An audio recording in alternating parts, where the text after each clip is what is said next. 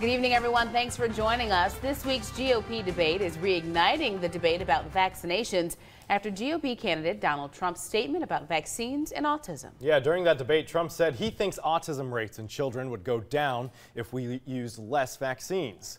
This caused an uproar with presidential candidate Dr. Ben Carson, as well as many others in the medical profession across the country, including here in Acadiana. Carrie Beal has reaction from a Lafayette pediatrician in our top story.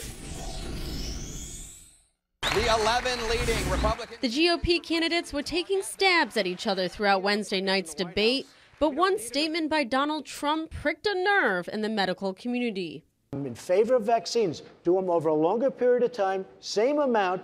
Thank you.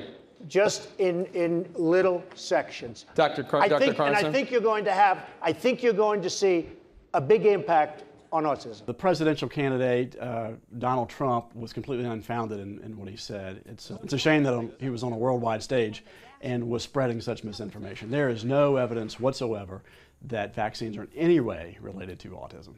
Dr. Brian Sibley, a pediatrician, isn't the only one who disagrees. Presidential candidate Ben Carson also shot back at Trump.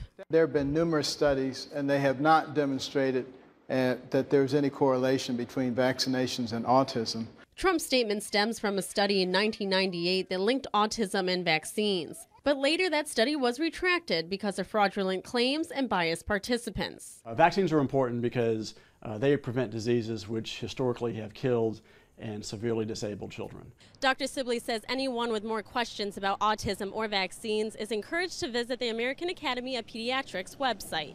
In Lafayette, Carrie Beal, KATC TV3. Here's Rob's 24 hour